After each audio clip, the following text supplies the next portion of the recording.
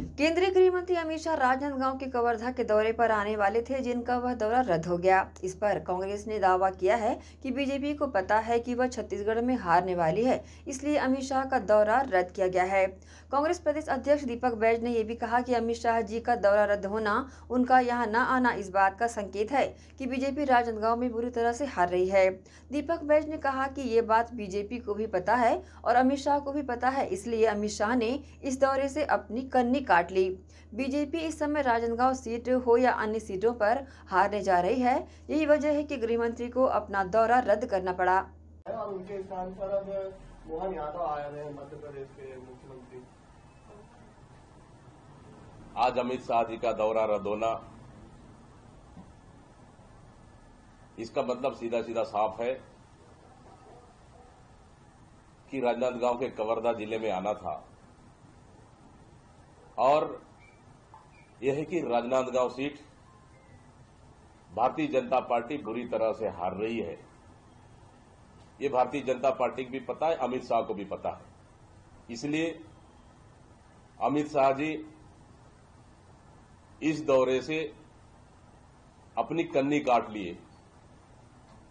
और भारतीय जनता पार्टी शुरू से मैं कह रहा हूँ कि इस समय चाहे राजनांदगांव सीट हो चाहे अन्य सीटों पे हो, कि छत्तीसगढ़ से भारतीय जनता पार्टी हारने जा रही है। और इसी का नतीजा है कि गृह मंत्री जैसे व्यक्ति को कि राजनांदगांव कवर्धा में अपनी कार्यक्रम को रद्द करना पड़ रहा है। भारतीय जनता पार्टी को जनता के पास जाने के लिए कोई भी मुद्दा नहीं है। महँगाई, बेरोजगारी कालाधन या विकास को लेकर वो जनता के बीच में नहीं जा पा रही है। इसलिए